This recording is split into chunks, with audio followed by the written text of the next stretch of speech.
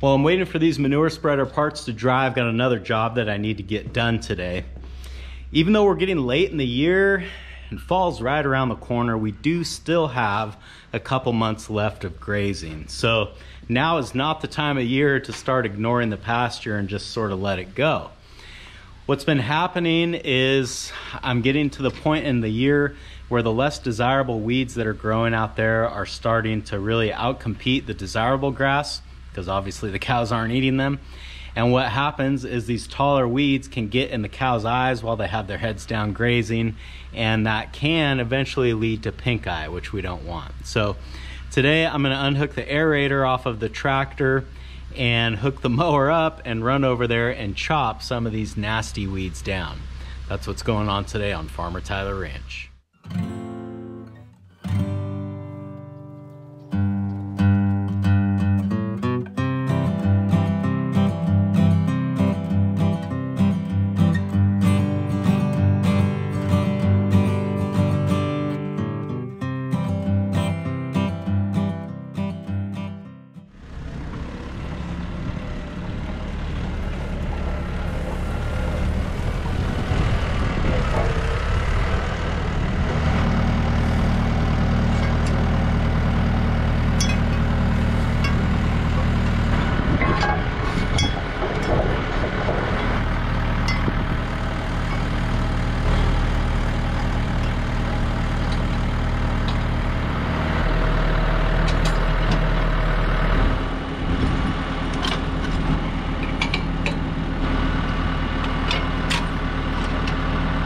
Bad thing about all of this is that I actually still have some aerating that I need to do but it would actually be a lot better to mow the pastures first and then aerate afterwards. So as much as I hate unhooking and hooking up equipment unnecessarily, I, I guess in this case it is kind of necessary.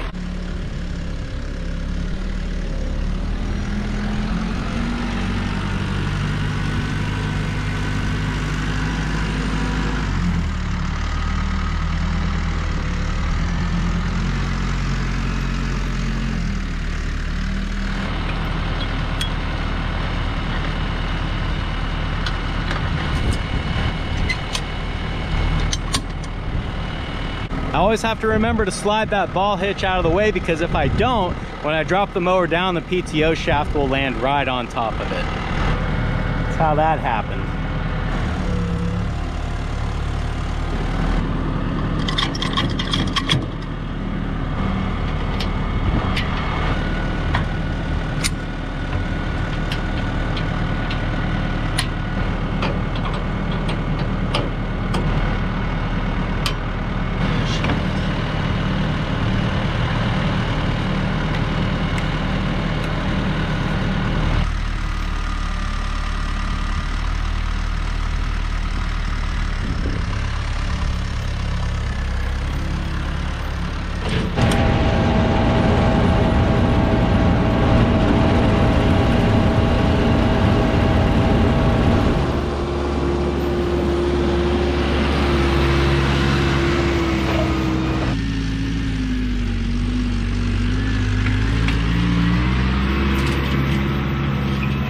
Now that we're out here in the field, I think it really demonstrates what I was talking about before.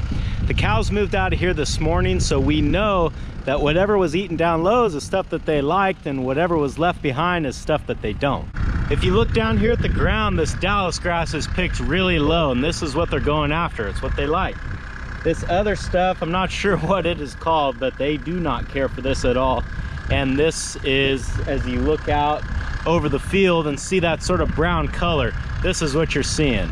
Before I talked a little bit about why it was important to chop the weeds because it would get those weeds down and out of the cow's face while she has her head down eating. But there's a second reason that we do this. I'm not really sure the science behind it, but there's something that happens when you cut that weed off and let it dry out and essentially make hay out of it that it loses a bitter flavor or the bad smell or whatever it is that the cows don't like about it. Because once you chop these weeds off and let them sit out here in the field for a few days, the cows actually will come back and eat them. All of these undesirable plants out here have gone to seed, which makes me think that they're sort of at the end of their life cycle. And I know it's the worst time to come through and mow them because I'm just gonna spread those seeds out. But my hope is that once we cut them off, that the Dallas grass has a chance to sort of outcompete the undesirable weeds. And the next time the cows get out here, this pasture should be looking pretty nice. This is the way that we've always sort of dealt with weed pressure out here in the pasture. But one thing that I would like to try is using a weed wiper to make an herbicide application out here.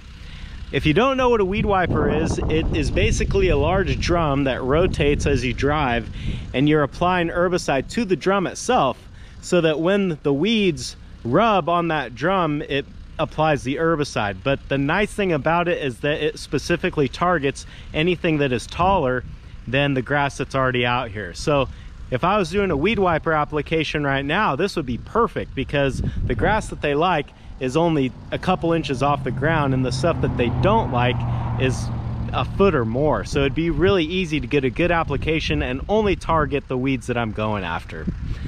But for now, mowing is just gonna have to be good enough.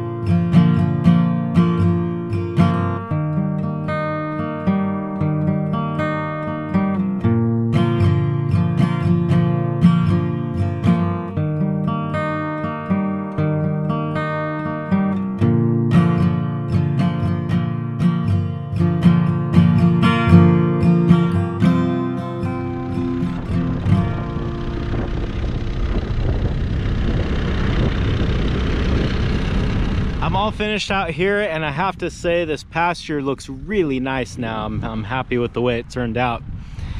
Tonight I'll come out here and I'll start the water and in about two weeks or so when the cows come back out here there should be plenty of growth to sustain them for a couple of days. While I got the mower hooked up and still have a little bit of diesel left there's a few more little jobs that I want to do.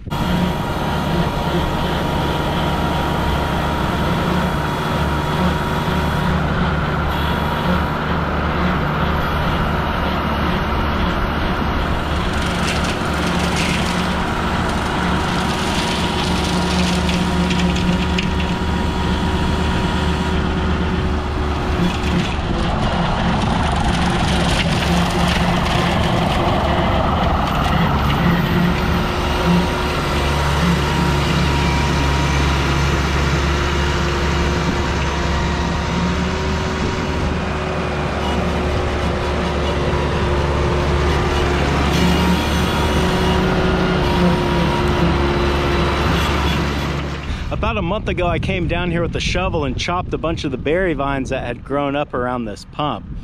Sort of piled them up here where I cut them down with, with the intention to come back with the loader tractor and put them in the burn pile or um, come back with the mower at some point and grind them up and get rid of them that way. So they've been sitting out here for about a month, been kind of bugging me because every time I come down here, I kind of tiptoe around them. So it feels good to get that job done. It's just one of those sort of nagging jobs that hangs over your head, but it's not really important enough to make a point to do it. But today, since I had the mower hooked up, it was a good time to get it done. That is gonna do it for all my mower work today, so I guess this is a good place to sign off. Thanks for hanging out with me today, guys, and I hope I'll see you again on Farmer Tyler Ranch.